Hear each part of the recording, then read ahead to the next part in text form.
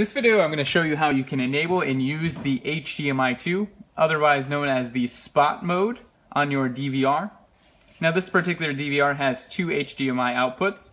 On the first HDMI output, which is called HDMI 1, we're able to access the main menu and all of the settings. On the HDMI 2, or spot mode, we'll only receive a display of cameras. We won't be able to manage the system from that screen. So first, in order to enable that second HDMI output, we have to go on the main menu. I'm going to log in using the graphical user password here. It's going to take us to the first screen on our XVR or DVR. Here we can see we have video, alarm, and IVS. And then down here you can see there's two dots. Now this is page one, and we want to go to page two. It's going to highlight here. We're going to click. It's going to take us to page two where we see backup, display, and audio. Now we want to go to display in the middle here. We can see on the left hand side we have main screen which is our HDMI 1 that we're currently on with the mouse in front of us here.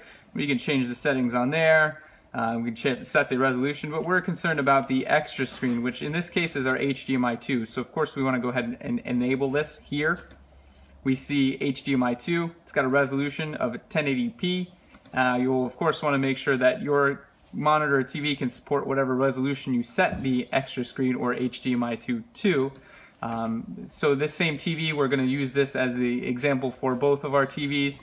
Um, and we have it set to HDMI 1 and 2 on the monitor just for an example. So we'll leave it on 1080p for both the main screen and our extra screen here. We've enabled the HDMI 2 or extra screen. We're going to click apply. Our screen's going to flash real quick and we'll confirm our settings here. It's enabled, set to 1080p, our main screen set to 1080p.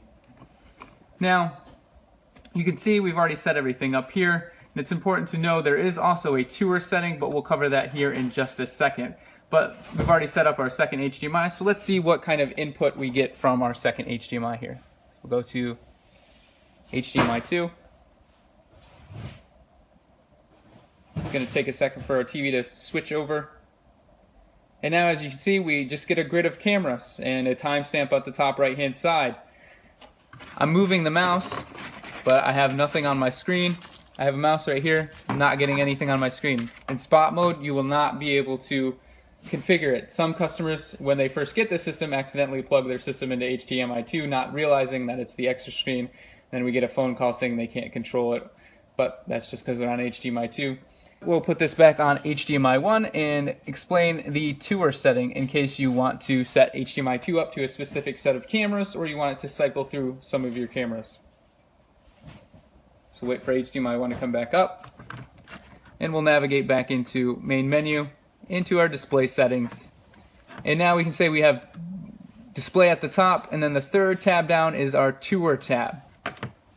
And we have main screen and extra screen. So you can set up a tour on the main screen if nobody's going to be using it or nobody's going to be managing the system. Then you can, of course, enable this here.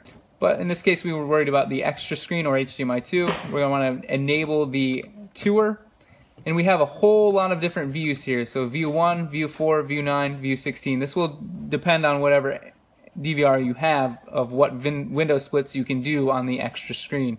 In this one, we really don't care about all of our view ones. We don't want it to cycle through there on our view one, so we'll go ahead and uncheck all those. We'll click apply. Uh, view 4, we do care about the four views, so we'll leave those checked. We'll want it to cycle through channels 1 through 4, 5 through 8, 9 through 12, just for a nice four camera grid view cycling through all our cameras. And then, well, you know what? We want to really monitor the first nine channels, so we'll have one of those views up, pop up too. And we don't care about the overall 16 camera grid view, so we'll go ahead and click apply here. Now what this is going to do is actually set this up to, on every five seconds, go through each one of these views that we have enabled. So we only have five views enabled, and we can see what kind of views we would get. So now we have our nine grid view. It'll cycle through one through four. Then we have five through eight. Nine through 12. and 13 through 16. Hopefully this video helps. Thank you for watching.